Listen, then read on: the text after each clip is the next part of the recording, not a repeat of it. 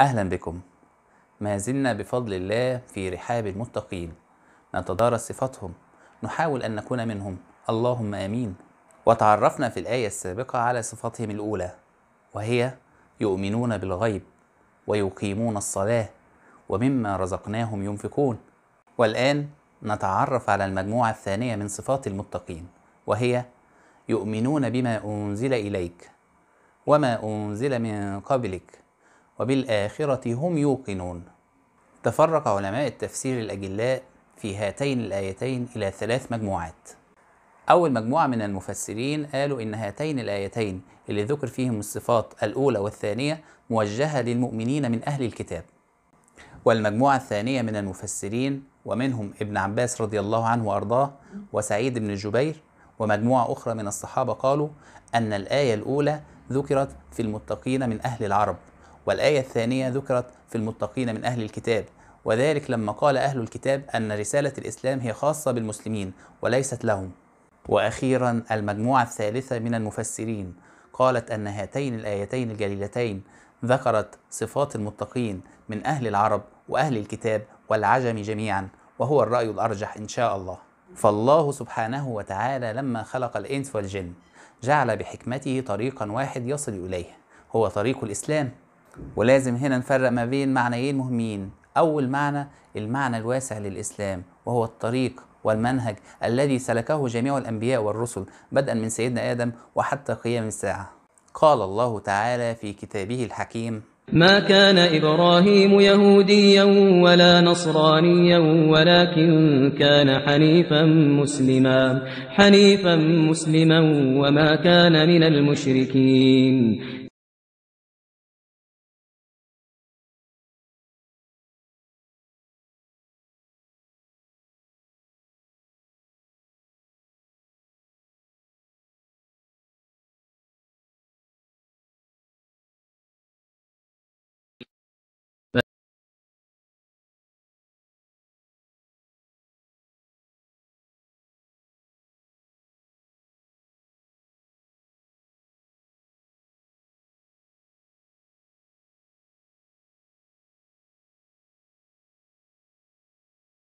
فهذه الآيات الكريمة السابقة تتحدث عن الإسلام بالمعنى الشامل وهو المنهاج الذي اتخذه المؤمنون منذ سيدنا آدم وحتى قيام الساعة.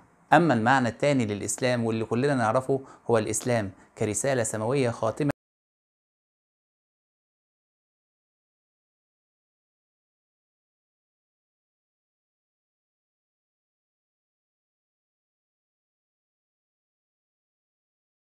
محمد صلى الله عليه وسلم أن يتبعه ويترك دينه أيا كان.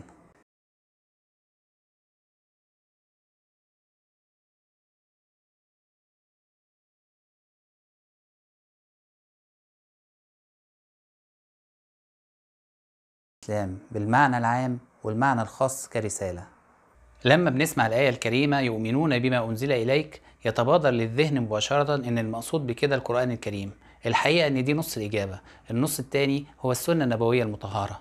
قال الله تعالى وما ينطق عن الهوى إن هو إلا وحي يوحى علمه شديد القوى. فأي شخص من التنويريين اللي فكرهم محدود جدا يقول إنه يقبل فقط بالقرآن الكريم ويرفض السنة النبوية في الحقيقة هو لا أرى القرآن ولا فهم القرآن الكريم. ده طبعا غير إن السنة الشريفة أصلا بتشرح ما ذكر في القرآن وبدونها مش هنقدر نفهم إزاي نصلي وإزاي نقوم بالعبادات والمعاملات المختلفة. كلمة أنزل في الآية الكريمة تدل على صفة العلو لله سبحانه وتعالى بما يليق بجلاله وعظمته. ولو تأملت حضرتك في زمن الفعل أنزل هتلاقيه فعل ماضي. كيف يكون الفعل ماضي وقد نزل القرآن بعد هذه الآية مرارا وتكرارا. والإجابة على كده لأن الله سبحانه وتعالى هو عالم الغيب والشهادة.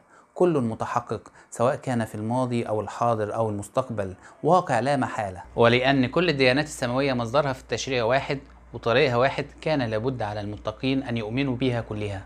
عدد الأنبياء والرسل اللي ذكروا في القرآن الكريم 25 فهل هذا هو العدد الكامل لكل الأنبياء والرسل؟ خلونا الأول نعرف الفرق ما بين النبي والرسول. النبي والرسول كلاهما يوحى إليه لكن الفرق إن النبي غير مأمور بالتبليغ والرسول مأمور بالتبليغ. ذات مرة سأل الصحابي الجليل أبو ذر الغفاري رضي الله عنه رسول الله صلى الله عليه وسلم كم الأنبياء؟ فأجاب مئة ألف وأربعة وعشرون ألف نبي. فسأله وكم الرسل من ذلك؟ فأجاب صلى الله عليه وسلم ثلاثمائة وثلاثة عشر جما غفيرا. وده مثال على أهمية السنة. في السنة الشريفة عرفنا عدد الأنبياء وعدد الرسل. أما عن الكتب السماوية التي ذكرت في القرآن فهي خمسة صحف إبراهيم التوراة الزبور الإنجيل القرآن. فالمتقون على وجه الإجمال يؤمنون بكل الكتب السماوية والرسل الذين أرسلهم الله سبحانه وتعالى. قال الله تعالى آمن الرسول بما أنزل إليه من ربه والمؤمنون. كل آمن بالله وملائكته وكتبه ورسله.